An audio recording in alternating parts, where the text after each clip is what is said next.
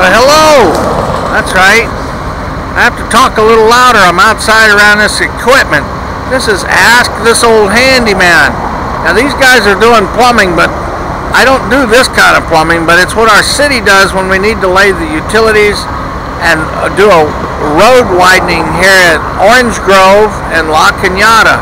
So we're going to show some of the equipment from a distance, and then I'll drive by, and then maybe I'll get another shot. But we're in traffic, and I don't have a hard hat, so we'll see what happens.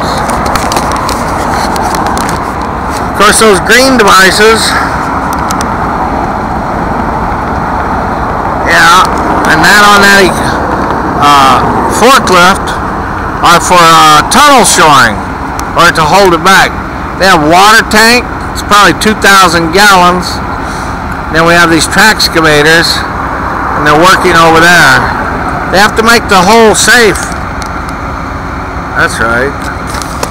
So a plumber can get in the hole. We don't want to cover them up. We need plumbers. Thanks for needing us. That's right.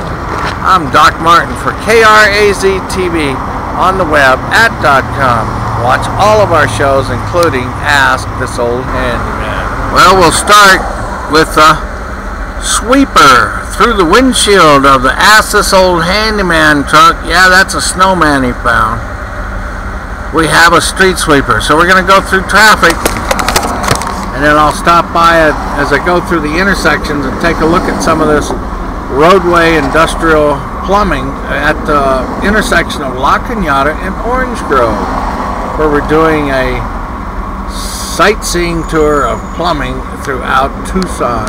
This is the big stuff. This is what you paid your money for. Okay, we're going slow through here.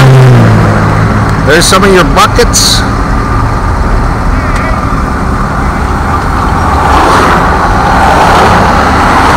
We even got the power people here.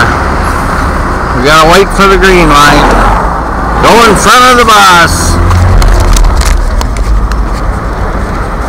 There we are, folks.